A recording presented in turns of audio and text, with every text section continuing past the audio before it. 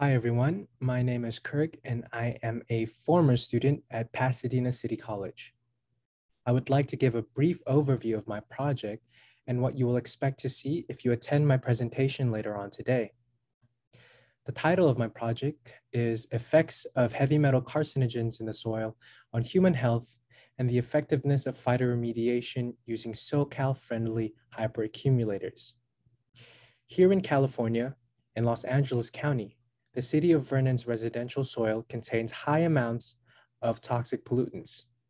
Cancer-causing heavy metals such as lead, arsenic, cadmium, chromium, beryllium, and nickel seeped deep into the soil of residential areas of the city.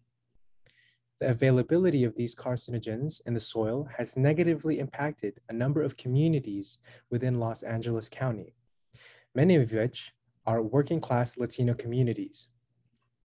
At the epicenter of the contaminated area is a now abandoned automobile battery recycling plant owned by American company Exide Technologies.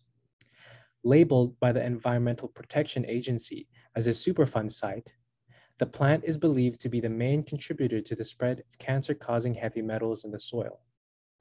My project aims to better understand the level of soil contamination through inductively coupled plasma mass spectrometry and X-ray fluorescence analysis, as well as how carcinogen carcinogenic heavy metals can negatively affect human health and how phytoremediation can be the key to solving this issue.